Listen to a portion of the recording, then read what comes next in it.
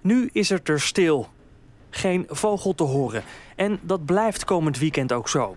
Hier bij de Vogelvrienden in Bergambacht blijven vanwege de vogelgriep de kooitjes leeg tijdens de maandelijkse vogelbeurs. Zolang is dat de vogelgriep uh, heerst en het uh, verbod er is om uh, ja, vogels tentoonstelling te houden in die straal van 10 kilometer, ja, dan mogen wij hier niet, ja, geen activiteiten houden en doen.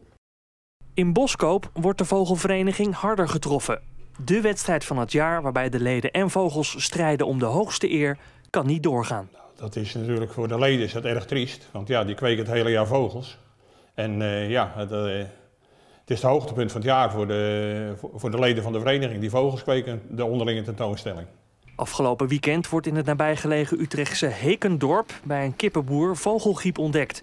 Om verspreiding te voorkomen mag tot en met woensdag in heel het land geen enkel gevogelte vervoerd worden. In een straal van 10 kilometer rond de besmette boerderij geldt dat verbod zelfs voor 30 dagen. En dat treft zowel de vogelliefhebbers in Boskoop als Bergambacht. Zaterdag uh, houden we wel de deur open voor de mensen die niet weten dat er uh, dat afgelast is. En dan hebben we een kop koffie en uh, toch een praatje. En, zonder vogels, ja. Anders dan praat je over vogels, je kijkt naar vogels, er wordt een vogeltje gekocht of verkocht. Normaal gesproken hadden we vandaag de kooien neergezet en vanmiddag de vogels gebracht. En morgen hadden de keurmeesters gekomen om ze te keuren. En dan donderdagavond was de opening. Zolang ik, ik hou van mijn dertiende jaar aan vogels en ik heb nog nooit meegemaakt dat de tentoonstelling afgelast wordt. Waarschijnlijk maakt het ministerie van Volksgezondheid morgen meer bekend over de beperkingen en eventuele andere besmettingen.